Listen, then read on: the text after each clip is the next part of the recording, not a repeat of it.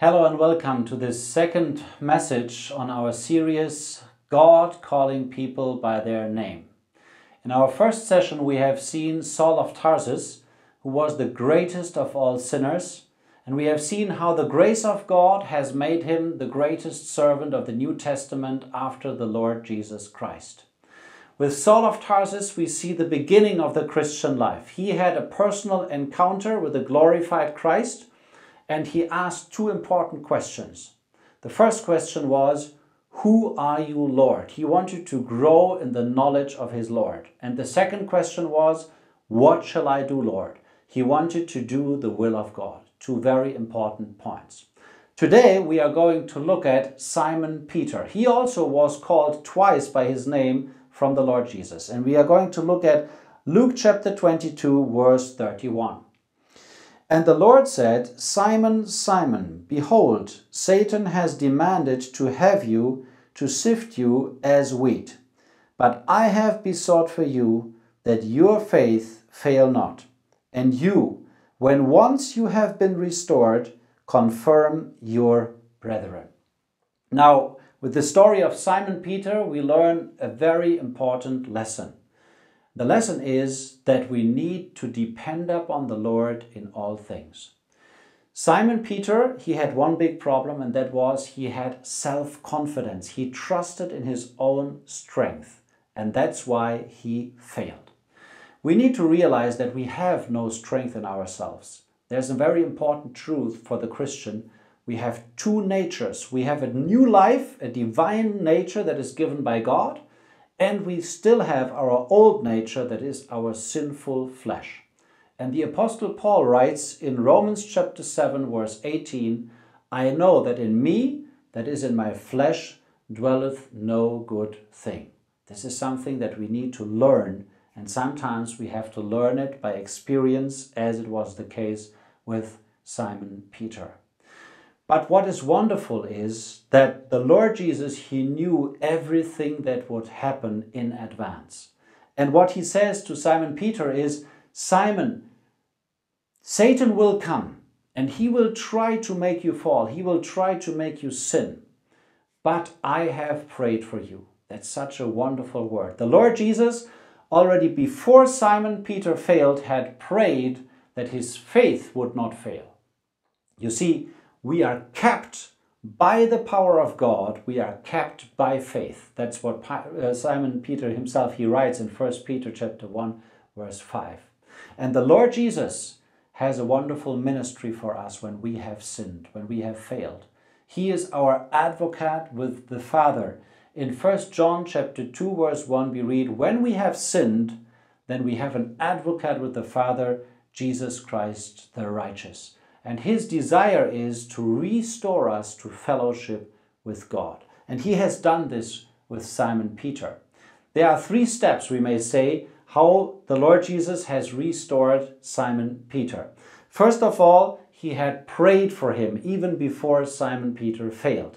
Secondly, we read in Luke chapter 22, in verse 61, and the Lord, turning round, looked at Peter, and Peter remembered the word of the Lord, how he said to him, Before the cock crow, you will deny me thrice. And Peter, going forth outside, wept bitterly. Directly after Simon had denied his Lord three times, the Lord Jesus looked at him.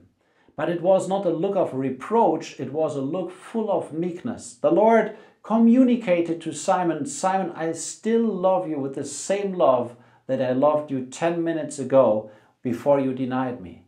My love doesn't change for you. And Simon Peter, when he saw the look of the Lord Jesus, it broke his heart. And that was the beginning of his restoration. He wept bitterly. And thirdly, we read in Luke chapter 24 that on the resurrection day, when the Lord Jesus rose again from the dead, First of all, he met Mary Magdalene, but then after this, we read in verse 34 the Lord is indeed risen and has appeared to Simon. You see, the Lord had this desire, first of all, to reveal himself, to show himself alive to Simon Peter. Because Simon, he was so despaired, he had denied his Lord three times, and after this, the Lord Jesus died. And now Simon was in a great despair.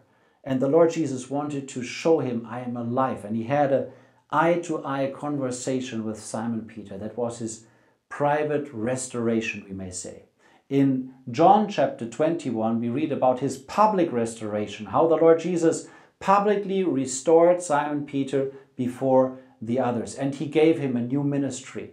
And that's so encouraging for us that even though we fail, when we repent sincerely and when we confess our sins, God is righteous and faithful and just to forgive us our sins and to cleanse us from all unrighteousness. And when we do that, God is even willing to use us again in ministry.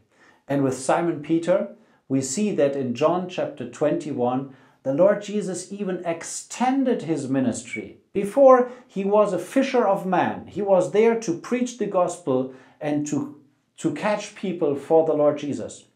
But in John chapter 21, the Lord Jesus gives him even a new ministry and says, I want you to take care of my sheep.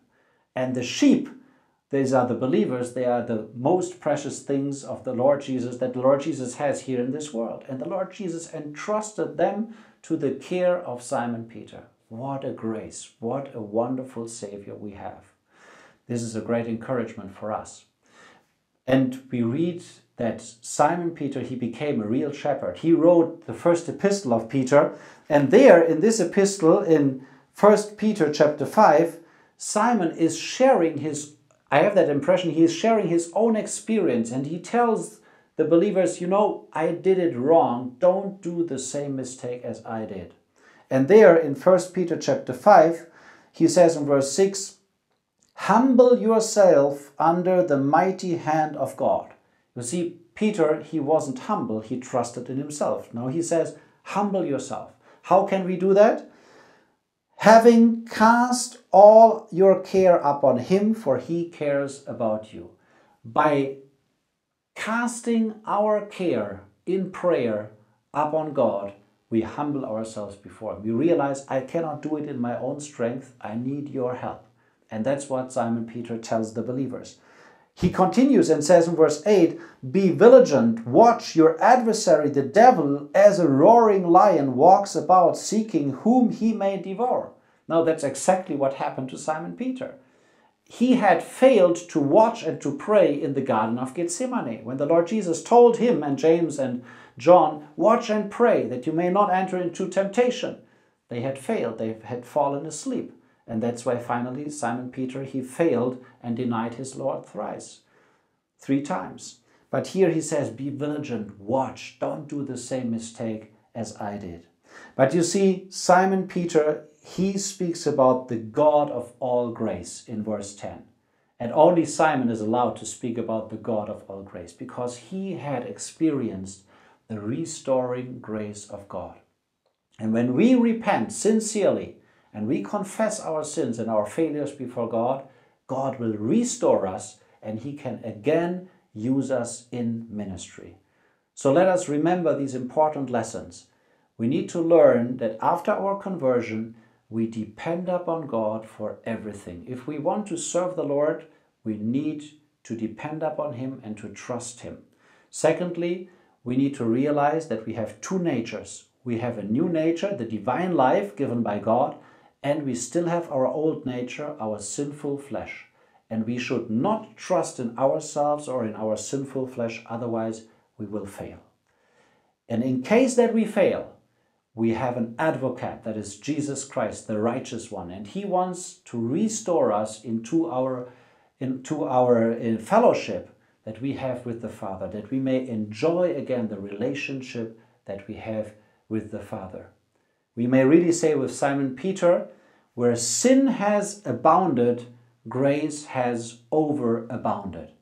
And we have to do with the God of all grace.